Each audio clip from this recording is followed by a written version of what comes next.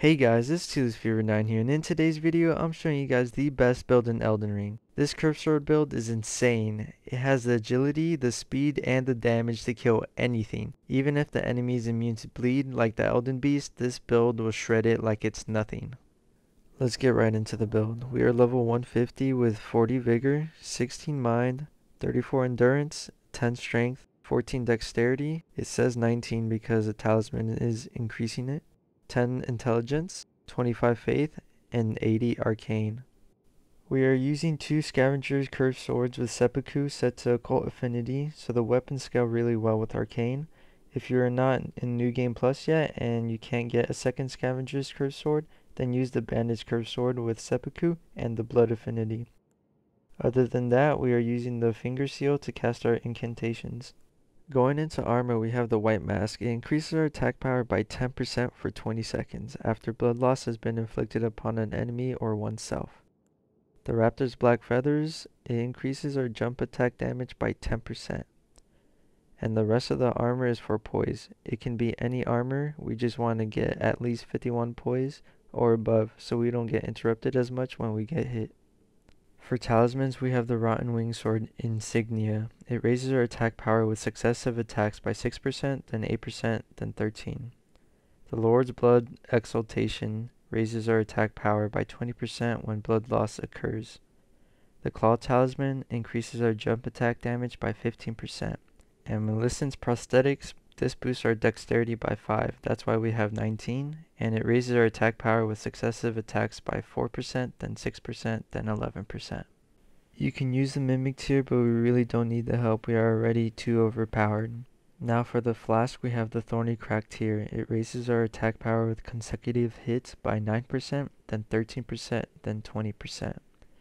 And the second tear can be whatever you like. I like to have the dexterity-knot crystal tear to boost my dexterity by 10 so we do a little more damage. And for incantations, we are using the Golden Vow. It increases our attack damage by 15% and increases all damage negation by 10%. We are also using the Flame Grant Me Strength that increases our physical damage by 20%, our fire damage by 20%, but we aren't using fire, and our stamina recovery speed by 11%.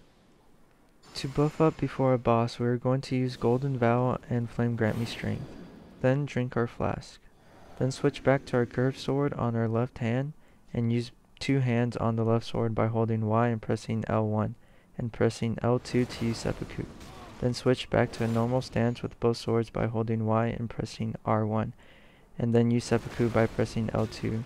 And now both swords have seppuku and we are ready to destroy anything in our path. We're going to be using jumping L1 attacks and running L1 attacks for smaller enemies. The rest of the video is showing how broken the build is. Other than that, check out my other videos, you might find something helpful. And feel free to support me by leaving a like, comment, and subscribing. Thank you.